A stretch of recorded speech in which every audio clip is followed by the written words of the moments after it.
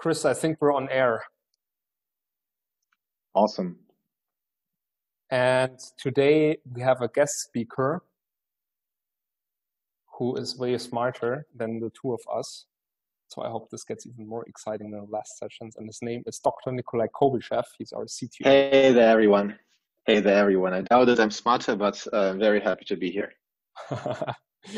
Thanks for taking the time, Nikolay. So um, we thought we thought uh, quite some time what we should do our next episode on, um, and uh, we've walked through, you know, the events layer of our system, right, where we detect the different events of a turnaround.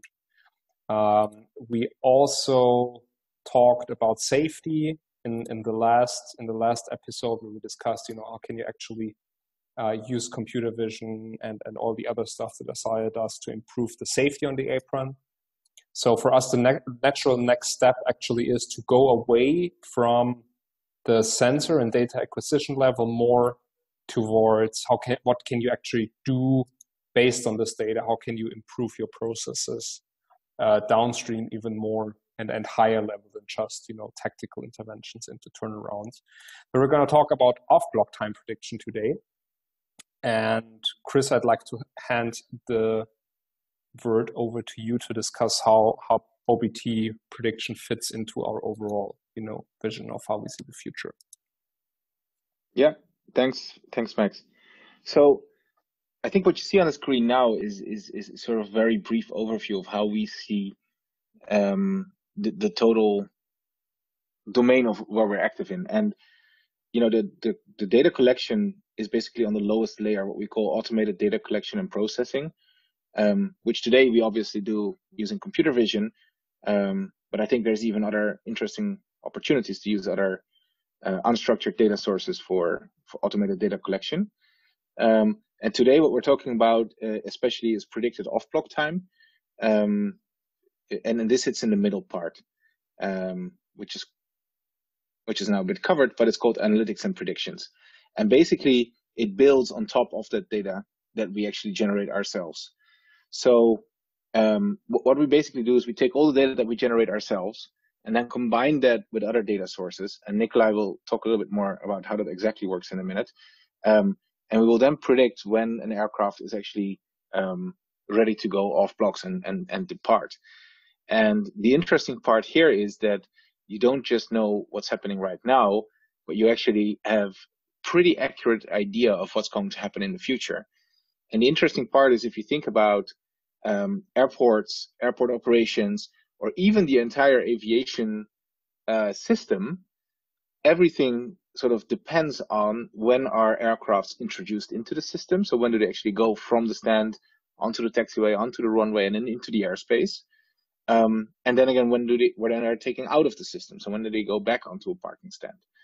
And by knowing more accurately um, you know when those moments are you can actually optimize everything and as as the space is already highly constrained both on the ground as well as in the air there's tons of initiatives to optimize airspace usage optimize runway usage optimize taxiway usage.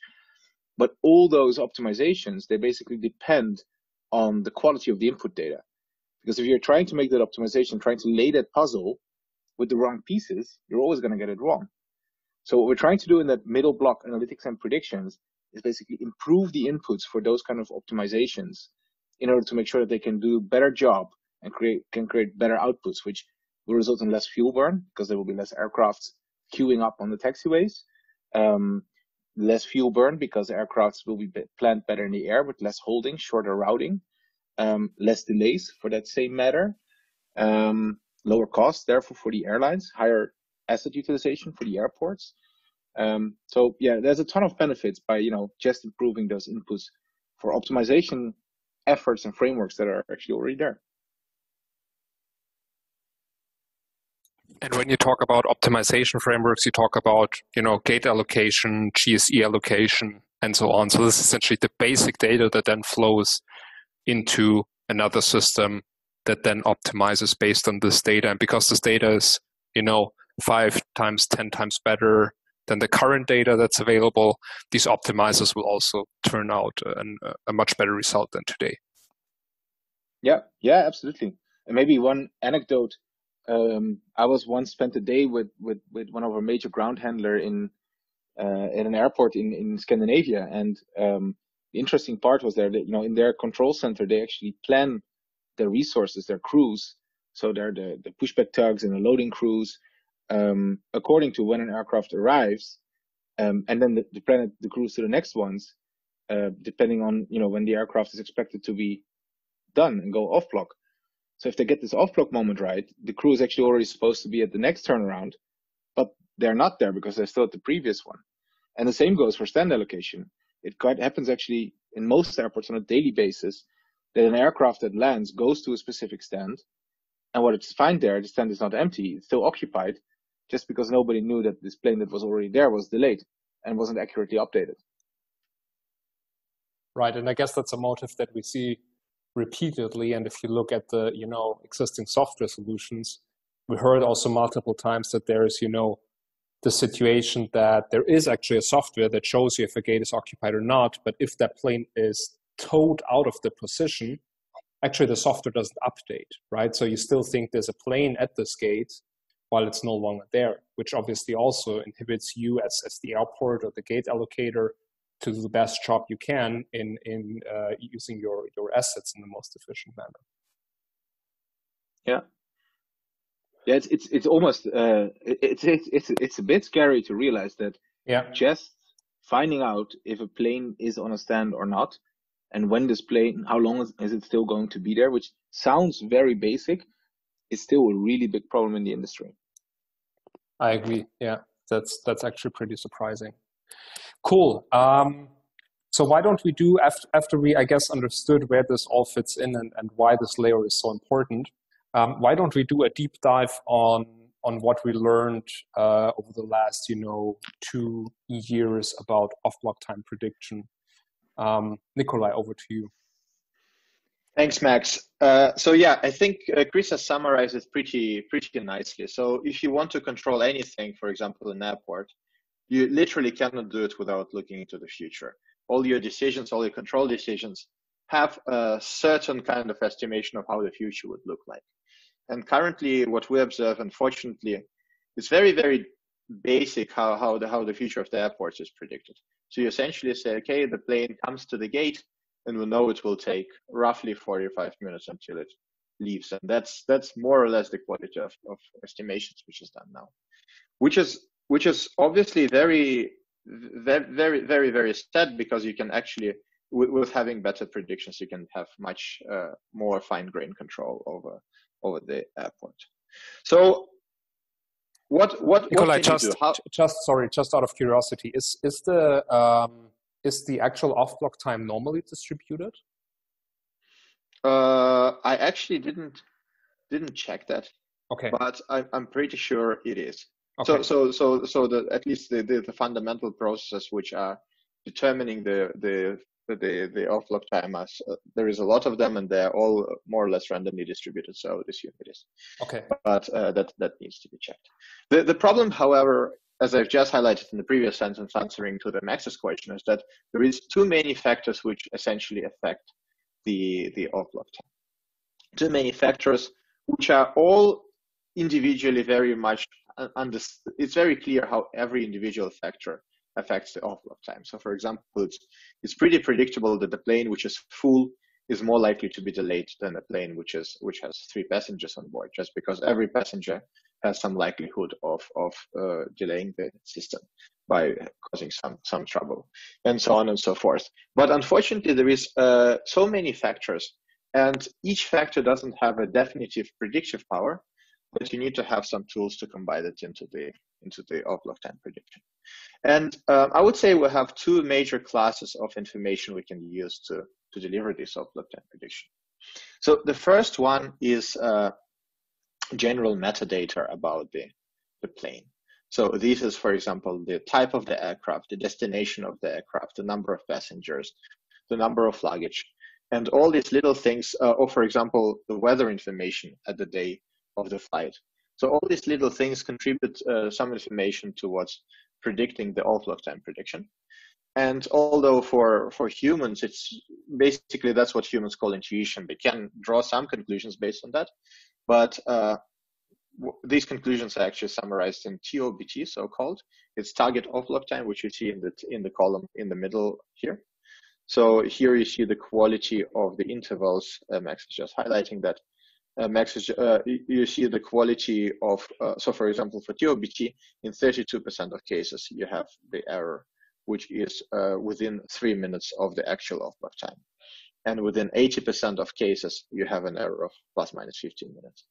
So although humans can do some kind of prediction based on intuition, it is it is very clear that machines can do it better just because there is no bias and there is uh, some machines are capable of and, taking all this information from different uh, different uh, sources and make just the, the, most optimal decision for such a case, which is unfortunately some kind of natural limitation of our brain. We cannot really take all the information from different sources and properly prioritize it so that we can take the best decision. So machines are so so this is the first the first class of of information that you can use to predict your off block time. Unfortunately, we don't have it in this slide, but we can show that this makes the prediction already much better than just target off block time. Uh, however, one can argue that, of course, just having some metadata about the plane will show some some historic correlations. For example, you know that fully loaded planes are more likely to be delayed, or planes with with no luggage are less likely to be delayed. That's all fine, but uh, in a way, this is all the knowledge we we, we capture before the plane uh, be, before the turnaround starts. However, one can argue that the whole process of turnaround unfolding can influence block time a lot, and that's actually what we observe. So, uh, as you know, we we can generate pretty accurate timestamps of different events that happen at the on the tarmac with the plane. For example, when the luggage loading starts, when the passengers start loading, when when cleaning starts, when catering starts, and so on and so forth. So we thought it's actually a very very reasonable idea to add this data to the to the predictor itself. And apart from the uh, from the metadata that I've listed before, you can also use this information to increase the quality of the predict even further. And uh, this has uh, brought us to surprisingly good numbers. They're shown in the left uh, table, uh, in the left uh, column of the table. You see that the system is capable of predicting the, the, the plane leaving with the error of plus minus 15 minutes with almost 100%. And uh, the five minute quality is achieved with 85%. And this is this is by far not the, the best quality you can get from the system. We're constantly working on improving it. But it sounds like a very natural idea to use visual information and metadata about the plane to actually predict when it is leaving. We see that it works uh, very well in in all the experiments we're running. And we also, as Chris has highlighted already, know that this is very, very important for for planning the uh, planning different operations at the airport, essentially controlling the airport, because the main resource of the airport is the so so so the main thing you want to do to run a proper airport is to manage your plane right, to put them to the proper gates, to make sure that they're serviced by the by the right equipment at the right time, to distribute. So so essentially this this whole resource distribution of distributing the the teams of people working on the plane distributing the, the, the equipment working on the plane, distributing the planes over different gates. This is this is the key component of the airport management task. And without uh, proper predictions of how the how the airport will function in the next uh, half an hour, two hours, it is almost impossible to do it to do it really properly. That's why we think that these uh, predictions bring bring so high value to the airport operation.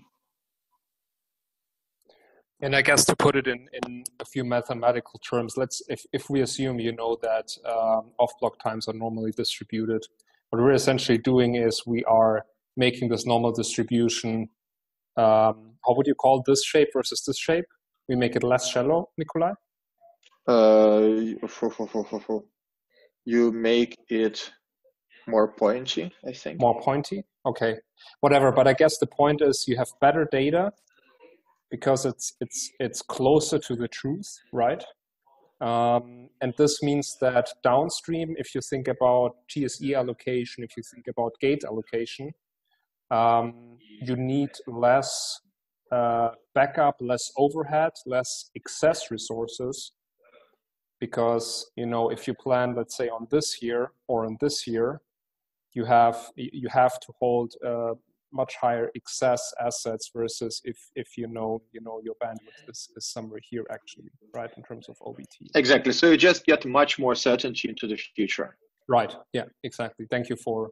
The, the, the thing is that if you if, if, if, uh, if you know exactly how your how your turnarounds will unfold, yeah. then allocating your resources is is is very easy. Like everyone can do right. it. But the the whole the whole cornerstone of this problem is actually you don't know how the future will look like. Yeah. So you can use some optimizations or some heuristics, but but it's it's very essential to get them as accurate as possible. And I firmly believe that we're taking a new step here by by using all the available information, using the best. No, I agree. To... And and if you assume that this would be you know ideal because it would provide ideal future future prediction. Um, we are trying to get as close as possible in terms of the distribution of, of output right to this. And I think what we're doing is already a huge step. If you look at how we how we make that distribution way more pointy, I think that's it's pretty impressive actually, the numbers. Super cool. Chris, do you have some some final words? Mm, maybe last thing that, that I was thinking about when, when Nikolay was talking, um, is it what, what always what I really like about this topic is that the confirmation that you know this is essential is, is basically already there. Because if we look at the the initiatives across uh, collaborative decision making mm-hmm. CDM uh, ACDM uh, total airport management they all try to tackle this problem. And they've made great strides in terms of uh, making definitions uh, aligning those across the industry. Um, trying to pull together as much data as possible in order to achieve that goal. And so much investment has already gone into that. And I think we're, what we're just trying to do is to basically uh, put a turbo on on all those efforts and uh, make sure that you know all the business cases that were made back in the day that that will finally that they'll be able to make those business cases um, by improving the inputs for all those mechanisms. I just came across by coincidence on this TOBT page uh, from from Fraport, right? And they say who sets the TOBT? The person responsible for TOBT as defined by aircraft operator, e.g. handling agent. Now that's highly schizophrenic, right? Because the handling agent is adversely incentivized to actually set, for example, a delayed uh, TOBT early on in the process because they know um, that they would get, you know, some some of the delay costs most most likely attributed to them. So that's also a system, yeah. systemic flaw in the system that I think we also talked about already. It's it's it's not untypical for the industry uh, that it goes like this, um, but it's it's also very clear that it doesn't work like this. I think another example that almost everyone working in an airport will realize is knowing you know what's when is the first bag on the reclaim belt, when is the last bag on the reclaim belt. Uh, often airports install buttons there and the ground handler is then instructed to press the button when he puts the first bag and the last bag onto the belt. like it's it's uh, there's a there was a commercial I think in the 70s in the Netherlands, and uh, it was a, it was a product for cleaning toilets. It was called WC Eend, which translates to toilet duck. and and what they and, and what they said at the end of the commercial is, we from WC Eend advise you to use WC Eend, and that's exactly exactly what's happening. yeah, so that's I think another another way how we at Assaia can help um, airports operate more efficiently uh, because you know gates will will be used more efficiently if you have better data there. Airlines because they have less situations where delays, you know, surprise delays accrue, and also ultimately ground handler, right? Because they can yeah. they can uh, dispatch their resources more accurately just think about these different value at normal distribution like shapes, right? They can distribute their assets better and and thus also be be more efficient. Cool. Many yeah. thanks, guys. That Thank was you exciting. Too. Take care. Thank you. Bye bye. Talk to you later, guys. Bye bye.